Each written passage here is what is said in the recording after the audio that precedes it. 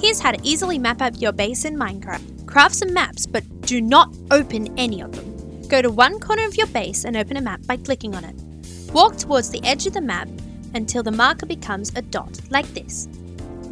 Once it's a dot, click on a new map. Continue until you reach the end of your base. You might have to run around a bit to fill in the map. Then use the maps to plot your base following the pattern you walked. Display the maps in item frames for a really cool bird's eye view of your world.